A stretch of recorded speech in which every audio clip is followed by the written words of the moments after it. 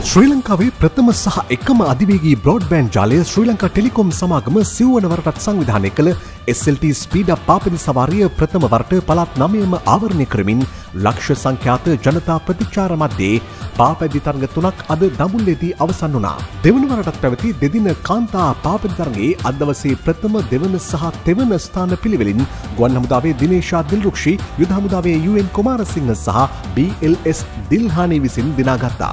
අනතුරුව දඹුල්ලේ සිට ඇරඹි කනිෂ්ඨ පිරිමි පාපැදි තරගය ස්ටැපනලි ක්‍රීඩා සමාජයේ TUKH දිල්මින විසින් දිනාගත්තා. සඳහා දින පහක් පුරා පවත්වන ලද අති තරගකාරී අභියෝගයේ අවසන් අධියර සනිටුහන් කරමින් පිරිමි පාපති තරගය අද සවස ත්‍රිකුණාමලයෙන් ආරම්භ වී දඹුල්ලේදී අවසන් වුණා. තව සුළු මොහොතකින් ජය සංකේත රාත්‍රිය සහ ශ්‍රී ලංකා ටෙලිකොම් මොබිටෙල් කෑෂ් මුලන් සහ සංගීත ප්‍රසංගය දඹුල්ල නාවුල ක්‍රීඩාංගණයේදී පැවැත්වීමට නියමිතයි.